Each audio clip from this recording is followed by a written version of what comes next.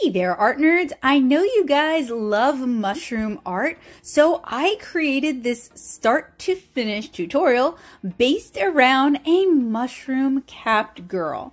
If you're one of my patrons on Patreon, you have access to the printable line art. So if you don't feel like drawing along and you just want to relax and paint, head on over to patreon.com slash nattosoup.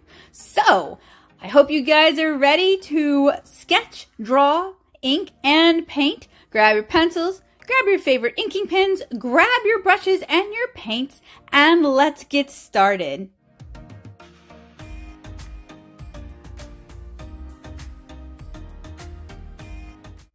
I'm working from a very loose thumbnail sketch in my sketchbook, and I'm going to be working today in a Canson XL watercolor sketchbook. I'm using the 9 by 12 size. I am sketching very lightly using Pentel Red Lead. I've divided the page in half and I have drawn kind of a semicircle in the center of the page. I'm utilizing constructive figure drawing to start drawing the figure of the girl with the mushroom hat.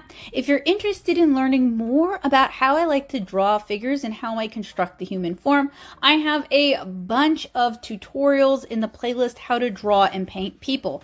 I will link that for you guys down in the description below, as well as link out all of the materials. But basically, I start with a glorified stick figure to kind of figure out the placement of everything and to figure out the pose. And then I use cylinders and spheres to kind of refine the shapes and build up the body. This is a technique that I've been using for over a decade now, and it has really helped me improve my figure drawing and it helps me draw poses from imagination without having to rely entirely on reference. So if you're interested in learning how to draw people, I really recommend you try this method and you check out my playlist to learn how to do so. So once I've got the figure sketched in, I'm going to start blocking in her clothing. We've already kind of blocked in the hat because her arms are interacting with it, so it's important that we just go ahead and place it early on. But now we can start refining things and we can start sketching in the clothes. And I want to make it look like the wind is catching the skirt on her dress. So I've done this kind of S-shaped curve. I know it's kind of difficult to see right now. Unfortunately, for me to be able to erase the red lines, I have to sketch them very faintly and my camera has some difficulty with that, which is why I'm not treating this as like a figure drawing tutorial and why I'm referencing my how to draw people playlist. So I'm just kind of blocking in the clothing, figuring things out where as I go along. I am referencing this type of dress just to kind of get the gist for how it works, but I'm going to change and add several elements to just kind of make it my own. So one thing I want to point out is that even though I have a very cartoony art style, I'm a comic artist and uh, my, my work is very heavily inspired by manga and anime, I still really like to reference real world objects to really get an idea for how they look and then caricature caricature it from there.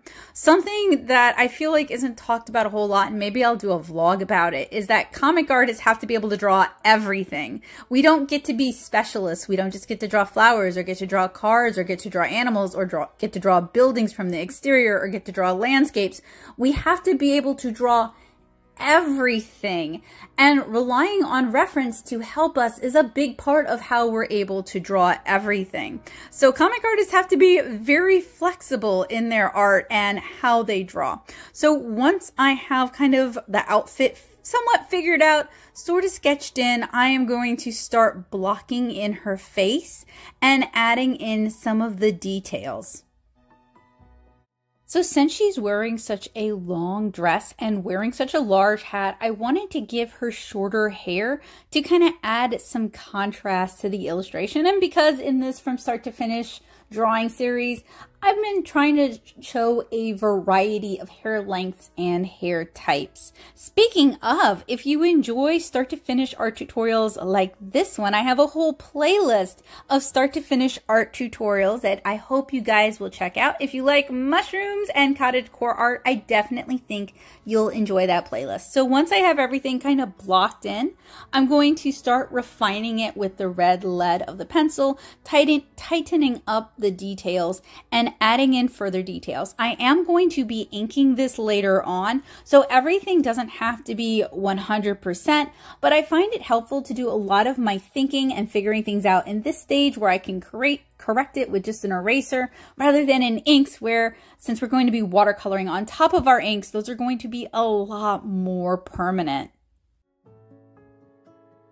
To make this outfit more my own, I added a little ruffle down at the bottom, and I'm also going to add an area of insertion lace. I'm also adding tassels to the overdress. That's going to add a little bit more movement because I can have them moving with the wind that's gusting up her skirts. So for the ruffles, you know, I really need to do a tutorial where I just walk you guys through how I draw some of these aspects of clothing. I think I did a live stream a few years ago on how I think about drawing folds and how I handle clothing. And I think it's high time that I do maybe some mini tutorials on how to draw lace and how to draw ruffles, that sort of thing. It's kind of hard to see here, but if that's something that you guys would be interested in seeing me do kind of a deep dive on, let me know down in the comments or reach out to me in my Discord server, the Paint Box. I'll put a link to that down in the description as well. So now that I have finished it up, it is time to go ahead and ink it. I'm using a sheet of white copy paper as kind of a buffer sheet so that I'm not transferring the oils that might be on my hand onto the paper and also so that I'm not smearing the ink all around while it still dries. Unfortunately, that also means I'm covering up some of the illustration which can make it harder to see what I'm doing while I'm inking. I apologize for that. So I am using a Sakura Pigma FB brush pen. This is a waterproof and alcohol marker safe brush pen. I've talked in my other start to finish art tutorials about why I like brush pens and how much I like brush pens and how fun I find them to be for inking. So I'm not really going to dive into that. If you haven't tried one yet, I highly recommend you head out to your nearest brick and mortar art supply store and try playing around with a few different brush pens just to see what you like. But this is one of the two that I really recommend, especially for this kind of mixed media art. Now, if you want colored line arts, Tombows Fudenosuke brush pens come in several different colors. They are a little bit smaller of a brush than the Sakura Pigma FB and the brush tip itself is a little bit firmer. So it may be a good possibility for people who are a little bit more heavy handed and tend to bear down when they're inking a whole lot. Those come in a lot of fun colors. And when you guys see me do colored line art here on the channel, that is probably what I'm using.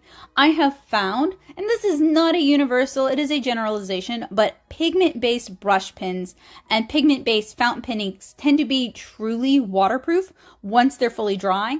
And generally, I'll let my inks dry for 12 to 24 hours before I erase, let's say, the graphite underneath them if I used graphite um, and before I will add water to them.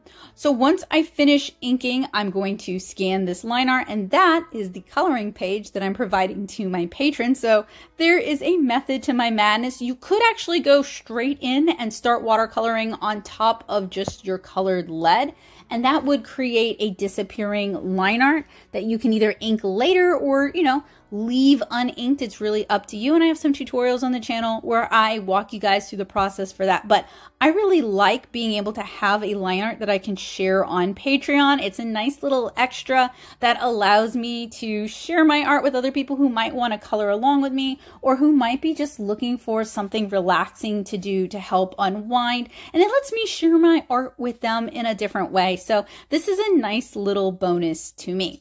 So this video, the whole video has been sped up 4X. That's about as fast as I feel I can go for these more in-depth start to finish tutorials. It does sometimes make for a longer video like you guys see here, but we're actually moving slow enough that you guys can see what I'm doing and I can narrate on top of it. Typically when I am inking, and I kind of changed what I did for this one because I, so generally if I'm working on an illustration like this, I will pencil it and then I'll ink it almost immediately after while my hand's warmed up. Unfortunately for me, my arthritis has been really acting up and I just don't have the big chunks of time right now that I used to. So um, I penciled this and then the next day I inked it and that means I need to warm up my hand. So what I'm doing is I'm inking. I started with the less important things, the things that if I mess up a little bit, people are far less likely to notice, like some of the mushrooms in the foreground. And then once I feel like my hand has warmed up and I'm pulling the kind of lines I want, I move on to the really important things like her face because I want to get those inked before my hand starts to get tired and I start to make mistakes because if you make mistakes on the face, it is very noticeable. And since we're going to be watercoloring on top of this, I would really prefer not to have to pull out the correctional fluid to fix my mistakes. In fact, I don't. I will just learn how to roll with my mistakes. And different pieces have different mistakes that I have to make different accommodations for. And it's really very educational learning how to cover up and hide your mistakes in color that you made while you were inking. So don't reach for the whiteout or the Copic opaque white or the white gouache just yet if you happen to make a mistake while you're working. So I mentioned earlier that I am working at 4x speed, or rather I have this time lapse up to 4x speed. I'm actually taking my time inking this rather slowly. Maybe I'm watching some YouTube or I'm watching some comforting shows um, or I'm listening to music, but basically you want to keep your vibe very chill while you're inking. You don't want to be drinking coffee. So generally I do my inking later on in the day when the caffeine has had a chance to kind of wear off. I have ADHD, so the caffeine doesn't hit quite the same way that it hits other people. So I don't get the handshakes from caffeine quite so badly, but you want to just kind of chill out, relax, just kind of sink into the inking and don't try to rush it. It's going to take as long as it needs to take. And you trying to hurry up and getting it done, or you trying to push yourself in ink while your hands really hurt, or after a really long day where you feel really tired and wrecked, you're just going to ruin good pencils. Just take that as your sign to take the day off, take a break, and come at it another time.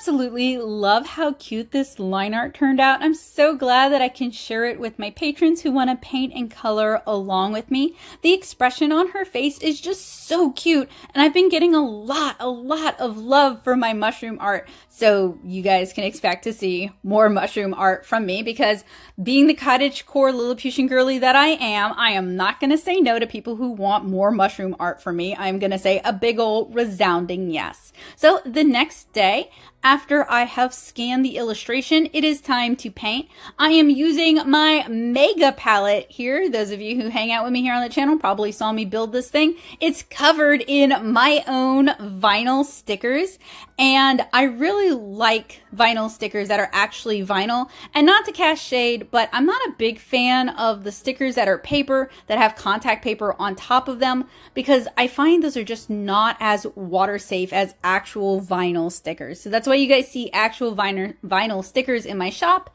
and on my watercolor palette.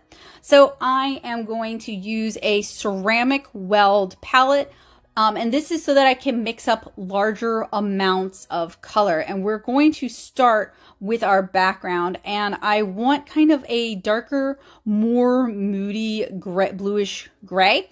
So I'm mixing up a Payne's gray. And for that, I am using a base of ultramarine blue with a little bit of burnt umber. And I've also mixed in some Winsor & Newton Payne's gray just to make sure we get that that gray note. I know that sounds obvious, but the thing is with a self-mixed Payne's gray, it's going to granulate out a lot more. So you're going to get that ultramarine blue, you're going to get that burnt umber, but you may not get as much gray as you want. And I really kind of want the best of both worlds. I want that gray undertone, and I also want the blue and the brown to kind of complement the mushrooms and the windy day vibes that we've got going on. So that's why I'm using a convenience mix and also actually mixing the color from two of the colors that are typically used to mix a Payne's gray.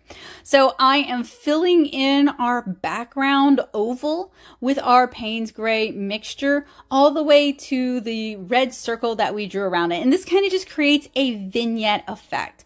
I'm also going to use a little bit of the same Payne's Gray on the mushroom stems. I'm going to mix it a little bit more saturated. And I'm also adding in a little bit of cerulean blue as well as some sepia because I'm looking to get a little more variation in our granulation and to create a more interesting Payne's Gray mix. Now, if you're painting along with me, whether you drew, inked, and are painting, or you print it out and you're painting. You can use whatever colors you want to use, whatever is inspiring to you.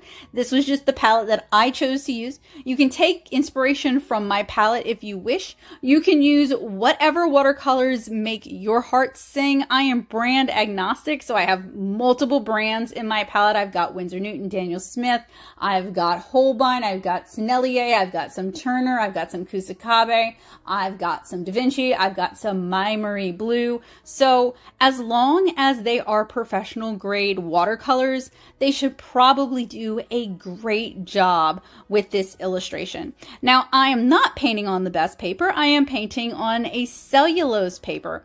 In fact, I am painting in a watercolor sketchbook. Cellulose paper is not the worst thing to paint on. Um, it definitely has some unique working properties that can make it a lot of fun and can make it quicker and easier than cotton rag paper. So now I'm mixing up kind of a bright yellow green, kind of fishing around for just the right color. And this is going to be our moss. And I'm going to use really small, short, almost like stabby little brush strokes using my rounds. And you guys will probably notice that I'm working mostly with rounds and quills for this illustration. So different watercolor artists have their preferences, and I don't think I'm alone in saying that I really like the round. It is a good all-rounder. It's kind of just a workhorse brush that can do a lot of different things. Although I have been experimenting more with other watercolor brushes and I've definitely found some favorites, but nothing quite replaces the round for just versatility. If you're on a limited budget and you can't afford to buy a bunch of different watercolor brushes, rounds are a great place to start. And also, you see this huge palette here, you see several brushes here. These were not all bought at the same time. This is a collection amassed over a decade of painting and I did start out with crummier watercolors and crummier brushes, and I have invested in nicer brushes as I progress on my watercolor journey and as the funds become available. So don't think you have to start with the best. I just recommend that you start with the best that you can afford at the time knowing that you'll probably need to upgrade it later on. So I have mixed up a darker mix of our kind of bright springy green. I've also mixed in some Daniel Smith undersea green into the mixture as well. That is a super granulating green. That is a combination of several base granulating colors. It's a convenience mix and I go for it all the time when it comes to painting moss because I just think it's a beautiful color. And I'm using the same sort of little short springy motions, but I'm trying not to cover nearly as much area as when I did the flat fill. I'm adding in a little bit more blue green to the mixture and I'm using that to start dotting in kind of the shadows. So I mentioned that we're working on a cellulose paper today in a watercolor sketchbook. Cellulose paper the paints and the water don't get absorbed into the paper itself. They sit on top of the surface, which means on a rainy day, it may take 1 million years for your watercolor to dry but on a very dry day, it may dry very quickly. And I try to time these start to finish art tutorials for drier, less humid days. Now, I might live in Southeast Louisiana. We might have really high humidity most of the time, but we also have air conditioning going on in our house. So it's a little bit easier to keep the humidity at a more manageable level when it comes to watercolor. So while I'm waiting for the moss down at the bottom to dry, I'm going to go in and I am adding some of our gray behind her and then blending it out using clean water. And this is going to create a little bit of a shadow effect and it's going to make the vignette look a little bit more dynamic. It's going to add a little bit more movement. And I'm blending it out just so that we don't have like a harsh transition line. It's a little bit soft softer. And it's also going to encourage the colors to granulate out a little bit more, which is going to add some more visual interest.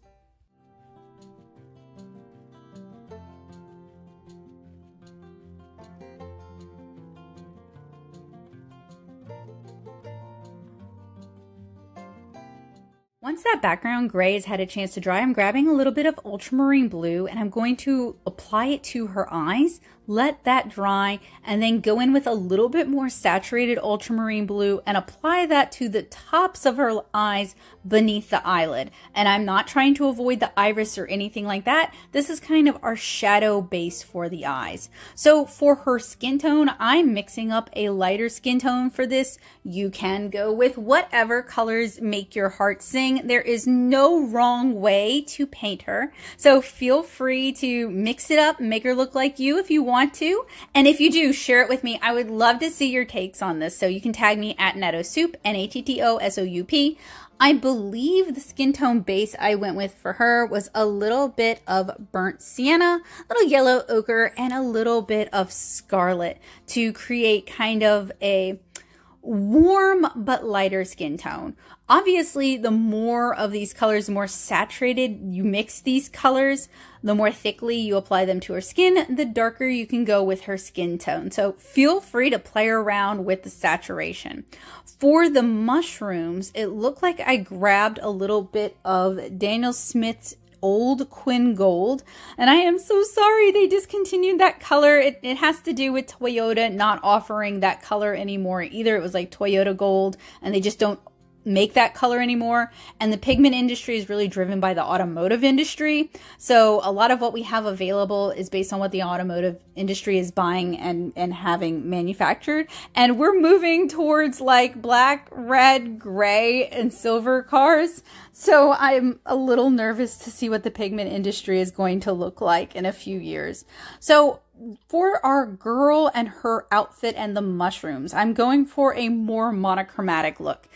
I decided I was going to go with like a palette of browns, which could go in a variety of directions. It could either look really awesome and very cottage core and very like subdued neutral colors, or it could or it could look bad. And I was worried it was going to look bad. So for her dress, I did a bit of an underpainting with the same color that I used for the mushrooms. I think my camera is kind of skewing it a little bit more yellow than it actually is. And while that's drying, I'm doing another layer of the same color that I originally mixed for her skin tone. So generally the way I think about building up color and building up saturation is twofold. We're building it up through successive layers. So we're glazing one layer on top of the other to build up our color and to build up saturation. And we're also using evaporative uh, saturation. So as we're working, the atmosphere is drawing the water out of the well and our colors are slowly becoming more saturated and more condensed.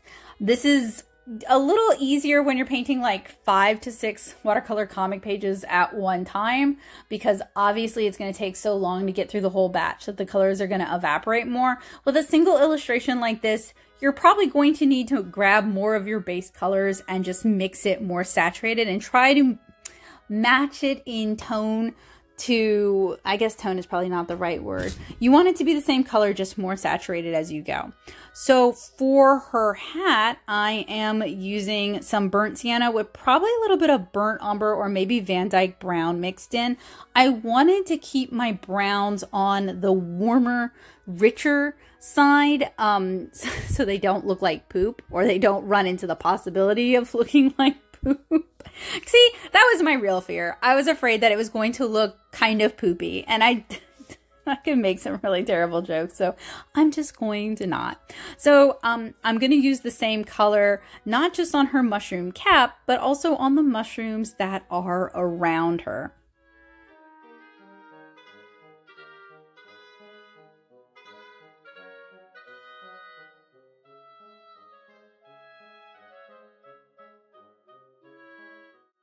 I gave everything plenty of opportunity to dry, and now we are on to my next painting session. I probably took a break to let my hands rest and kind of recover from the arthritis. So we're going to do our second layer of ultramarine blue at the tops of her eyes, kind of creating the illusion of shadow, like her eyelids are casting a shadow on the tops of her eyes. I've mixed up a little bit of gray here, and we're going to start using this on the interior of the mushroom cap to start start painting in the gills to kind of give them some volume and give them some depth so they actually read as mushroom gills. I'm also going to do a little bit of underpainting with the same color on her dress as well, just so that we can start blocking in some of the shadows.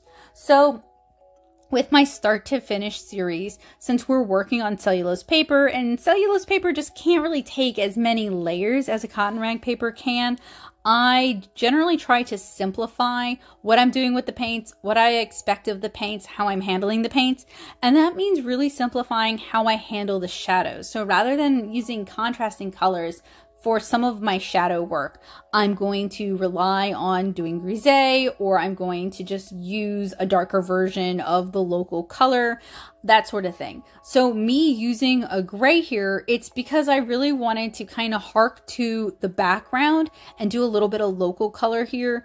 And I also felt like the dress had gotten a lot too yellow and I wanted to kind of neutralize it a bit and make it appear a little bit more brown. So when it comes to watercolor and color theory, a lot of different artists have a lot of advice. Um, I do think having, you know, a basic elementary to high school understanding of color theory is very beneficial, but I don't think you need to be like a color theory wizard to be good at watercolor. I do think you need to be willing to make some bad art. You need to be willing to make some mistakes, willing to paint some things that you're not the happiest with.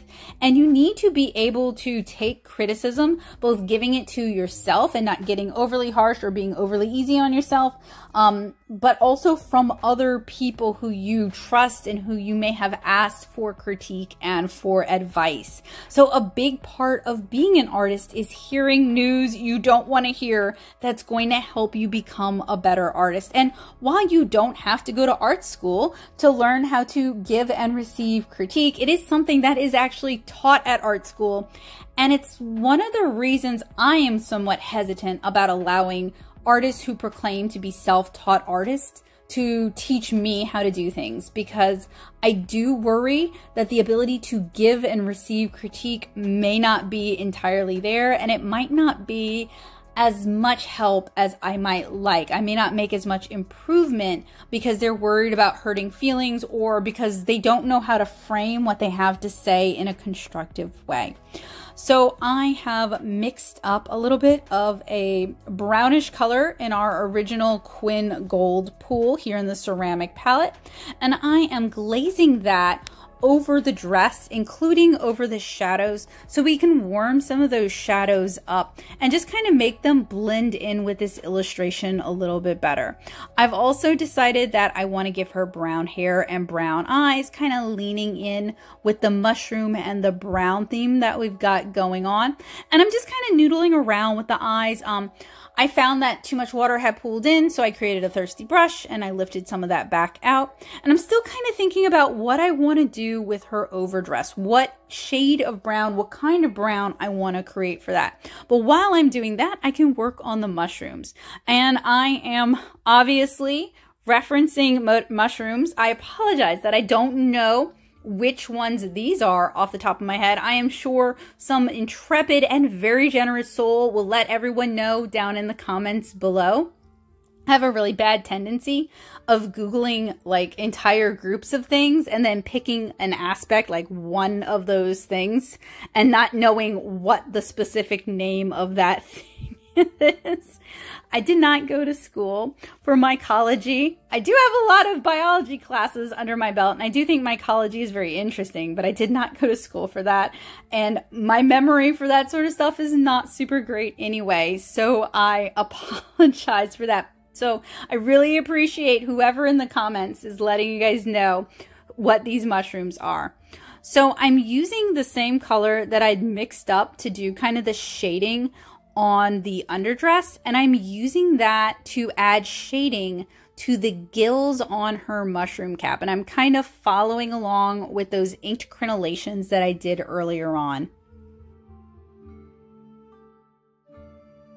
I also have this really nice rich Imidazolone red or Imidazolone brown in my palette. I believe it's a Holbein color and this is a nice almost like a brick brown red and that's what I'm using to kind of add in some of the darker areas on our mushrooms and her mushroom cap. This is also going to become one of the base colors for her overdress as well.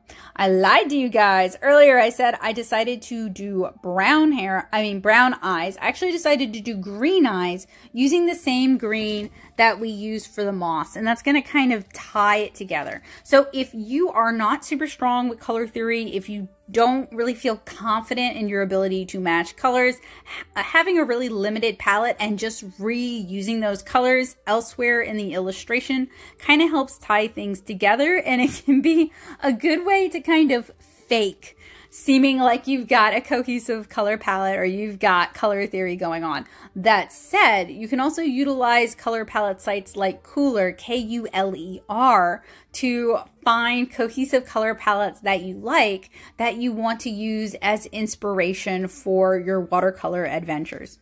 So for her overdress, I am using that Imidazolone red and I have mixed that with some Van Dyke brown. So that way it kind of neutralizes it, but we still have some of that really nice warm red going on, really reminiscent of mushrooms out in the woods because that was my goal this entire time is I want this to be kind of a fall vibes illustration, very mushroomy, even though I live in a place where we never really get to have fall. Once upon a time, I lived in Nashville where we had beautiful fall. So when I need to bring in the fall vibes, I have to channel the time that I spent in Nashville. So I've mixed the color a little bit darker, a little more saturated. Maybe I've even added in a little bit of sepia and I am going to start glazing it on top of that first layer. And I want to leave areas of highlights, areas of that original color. And that's going to give some contrast and some definition to the dress so it doesn't just turn into kind of like a muddy, shapeless brown blob.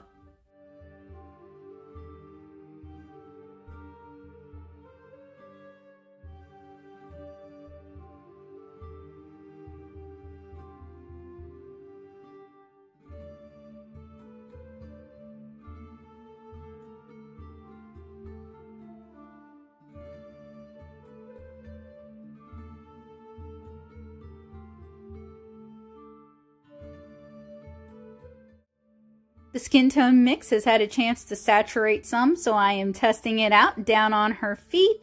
And it seems like it's a little bit darker, so we can bring it up to the arms and her neck and the face.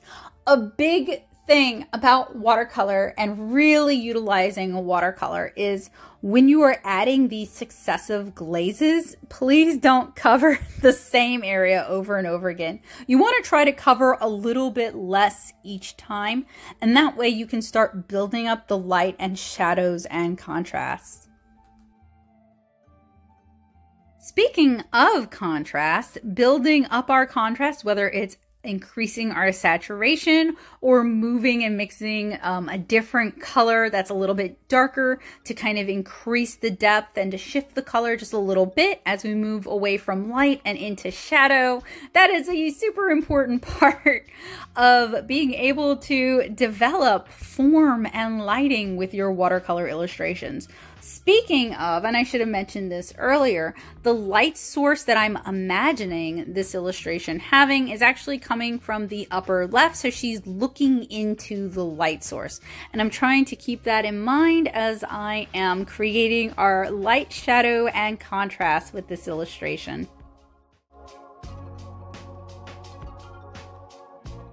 This is true for a lot of my illustrations. I didn't go into this with a set in stone color plan. I had some idea of what colors I wanted this to use and I wanted to pull uh, inspiration from the reference and I also wanted to reuse the color palette.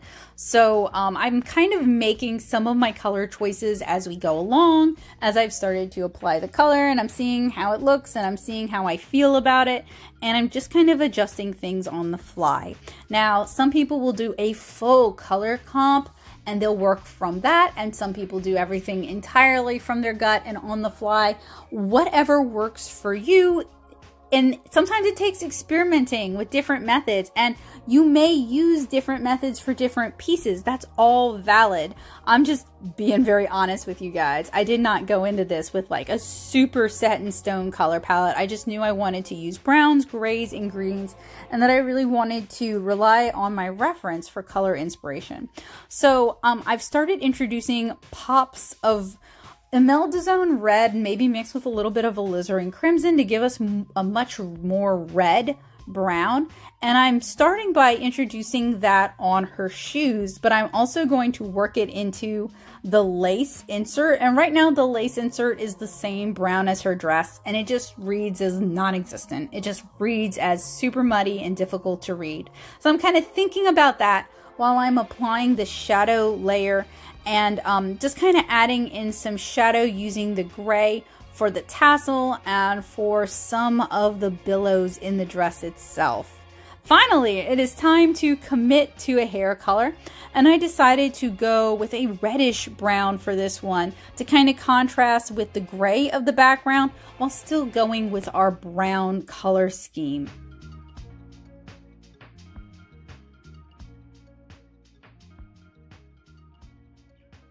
At this point, we have everything kind of blocked in. I have everything kind of figured out. I know what colors things are going to be for the most part. So most of what we're doing from here is saving this from the ugly phase. And one of the ways we can do that is by creating more drama and contrast and cleaning up details. And one of the areas I want to kind of focus on is doing that with her skin and building up that shading with the skin so that she's not so bleached out and so that we get more of an impression of the light source. So for things to actually look bright, you need to have really strong shadows.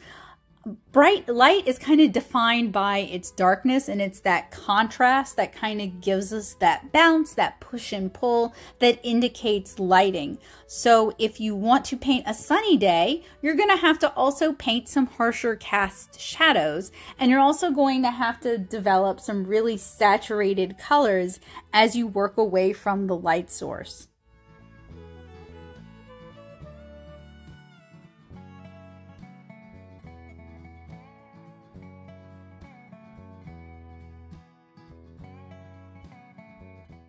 For the trim on her dress, I decided to go with a Quin Gold and add just kind of a pop of brightness and that'll kind of contrast against how dark brown her dress is going to get. And it's also going to add a little bit more color and liveliness into this illustration.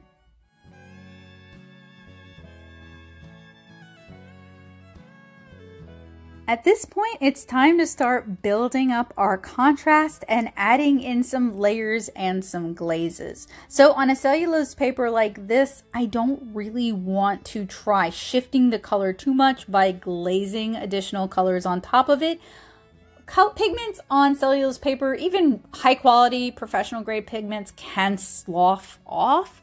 So if you want to be able to do loads of glazes and color shifts and color adjustments utilizing glazes, I would recommend that you use a cotton rag for those kind of illustrations. This is meant to be just more of kind of a fun, laid back sketchbook illustration.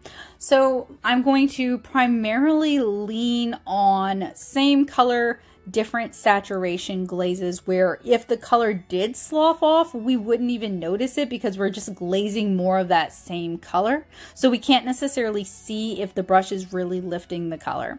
Another point is I am working with either mixed brushes, so synthetic and natural fibers, or full natural fiber brushes. I'm working with fairly soft squirrel hair brushes for this illustration, so it's much less likely to kind of slough off prior layers of pigments as we add on glazes. If you're working with snappier synthetics, like Princeton synthetics tend to be very snappy, those are fantastic for certain types of watercolor illustration that are really brushwork dependent and you want those really crispy lines.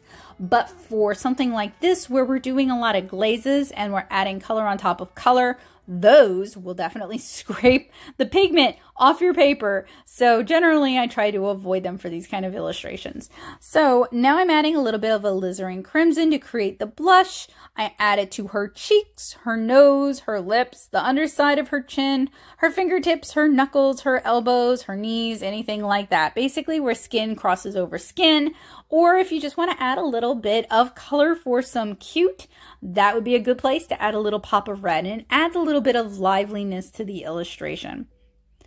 So I'm using one of our greens to add just a little hint of green to the beads on the tassel. We're just kind of working in little hints of our complementary color as we work on this piece. I'm going to use our Imidazolone and probably alizarin crimson mix. Add that to the top of her chemise just to add a little pop of color again, like it's a cute little ribbon that was sewn up there just for some color. And I'm going to use our Quin Gold a little bit more saturated on the trim of the dress. And like I said, don't just like fully color it in one layer on top of the other, leave some areas of the prior layers as highlights, and that's going to start to create some contrast, and that's going to be more interesting for the eye to look at. One thing that I think is really important to talk about when we're talking about watercolor is patience. So if you're doing more abstract watercolor like loose florals, I think you don't need quite as much patience. It's not going to take quite as long as an illustration like this. This took a couple days of me painting in like four hour ish ish stretches and that's including the dry time. So I think it was like three hours of active painting. I don't remember. I shared that to my community tab so you can check me on that one. But active painting is not including dry times or refreshing the water. Anytime I have to pause the camera, I'm probably not showing it. That said, cartoony, comic illustrations like this take far less time than some of the more rendered illustrations that I do on, co on cotton rag paper. They take less time than my comic pages, and they take far less time than a hyper realistic watercolor illustration. That said, you still have to be patient. You have to be patient with yourself and give yourself time to develop the color. Um, one of the big compliments my watercolor art gets, and I take it as a compliment, maybe some people don't mean it as a compliment, is how saturated my work is. People assume I work with acrylics. I don't. It's watercolor. You guys can see it's watercolor. But I put the time in to layer those colors and build up layers of those colors and build up the saturation and to remix colors and to let it dry and to paint another layer on top of it and paint another layer on top of it. And that helps build up that saturation.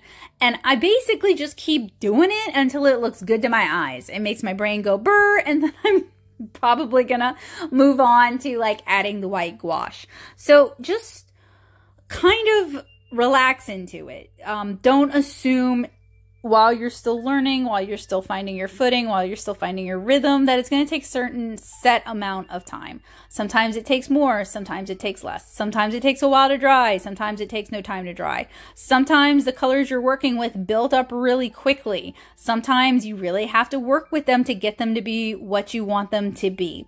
Give your art time and give yourself time. Give yourself time to take breaks. Give yourself time to come back to it the next morning with refreshed eyes give yourself time to look at it and self critique and look for areas that you'd like to improve while you have a chance to improve it and fix it. Watercolor takes time, and I don't just mean it takes time to paint, it's all these other things are part of that time. But it's still my favorite medium to work with. It's so rewarding. I love how the colors look. I love how the paints handle. I love basically everything about watercolor. So I don't mind that time. When I'm painting with watercolor, that's time I'm spending on myself. And you guys see, I'm taking the time to just kind of adjust the colors that you can see they've really evaporated out now. We have very little water, if any, in our ceramic wells. So I'm bringing in water from my clean water cup and I'm kind of reactivating it, which you can do if you're working with a ceramic palette here. And I'm using those more saturated tones to really bring in the contrast, to add a little bit of drama. If you want to add a little bit of drama, this is not a super drama-y illustration, but if it were, that contrast would really help up the drama. It would help up the visual interest because you're creating contrast. You can create contrast with contrasting colors. You can create contrast between light and dark. You can create contrast between areas that are very simple versus areas that are very busy. You can find a lot of ways to make your illustrations either calming and relaxing to look at or very dynamic and very busy and very interesting and mentally stimulating. It's up to you. Now, if you're looking for some ideas on how to improve your art in general, Andrew Loomis has some really great books. These came out in like the 40s and the 50s. There's still a lot of really helpful information in those books. They are well worth revisiting and checking out. Some libraries have some copies. So often you can find them online, but I highly recommend his books, especially for my friends who like more pictures and they like pictures with descriptions and they like to work at their own pace. I see you, friend. I'm the same way. His books are really good for that, and I highly recommend you check them out. And I will list them in the description for you guys so that you guys can Google them and find them.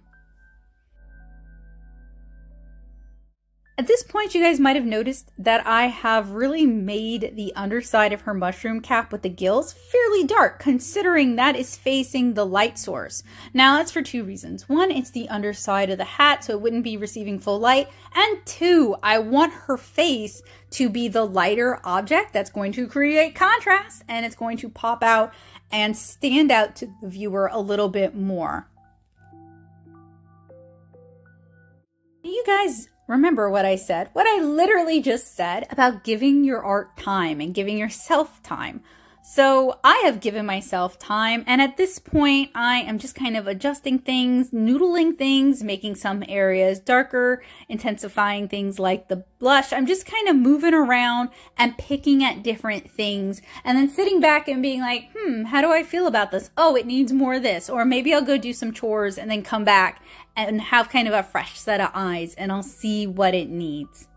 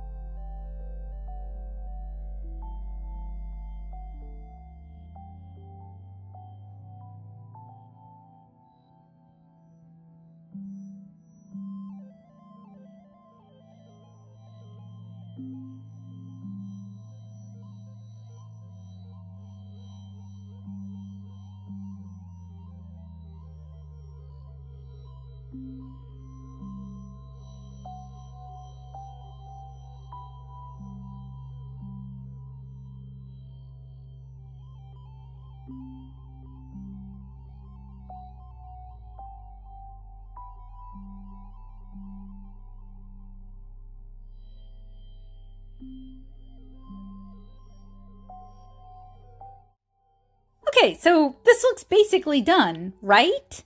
Except I felt like it looked kind of static.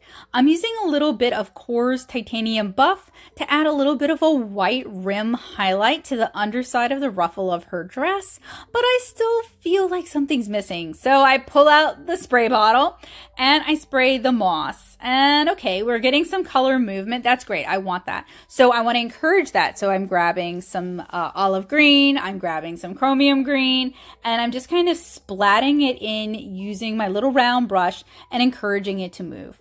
Once that dried, I am going to just re-ink a few areas because since we are working with watercolor and some watercolors are more opaque than others, sometimes layers of those slightly more opaque colors can build up a film that can make your illustration look a little bit more muddy or a little more confused or a little hazy. And sometimes that works in your benefit and sometimes it doesn't. So I just pull out the same brush pen that I used to ink this initially just to tighten up some of the areas where I want to bring that contrast back in. I am also using a little bit of white gouache to add some white highlights and rim lights just here and there. That's going to just kind of rebalance the contrast a little bit. It's going to clarify some things that may get lost when we have one dark color on top of another dark color. And it's going to add just a little bit more visual interest. And I am gross and I basically wet my brush and then dip it in my tube of gouache.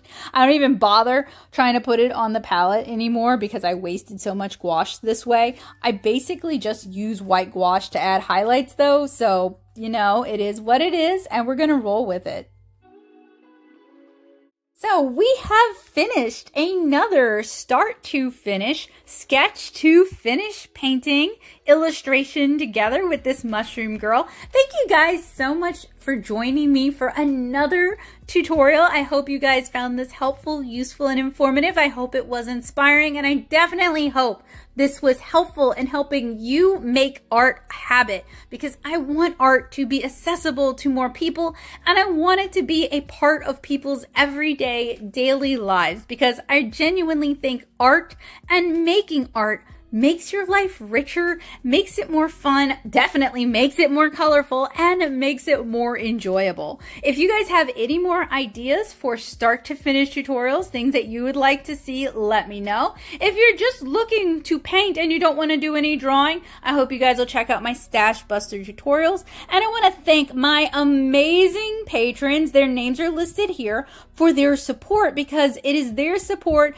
that enables me to do what I do here on the channel all the funds from my Patreon go back into buying the supplies that I review. So thank you guys so, so much.